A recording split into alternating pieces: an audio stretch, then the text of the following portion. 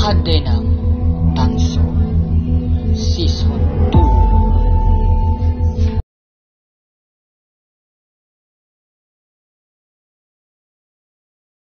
Romina! Lumabas ka dyan! Romina! Labas! Hello? Nasaan ang DNA sample nila Carlos? Nasaan? Ano bang pinagsasabi mo? Huwag ka nga magmaang-maangan dyan. Alam kong pinapa-DNA mo sina Carlos at Carlitos. May ganun ba?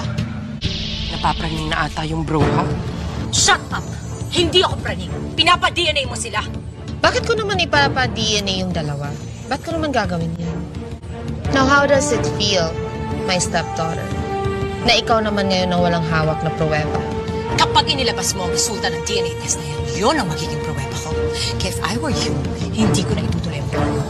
Bakit ka ba natatakot na ilabas ko yung DNA results? Bakit ka natatakot na maging positive? Takot ka ba na malaman ng lahat na anak ni Jess ako?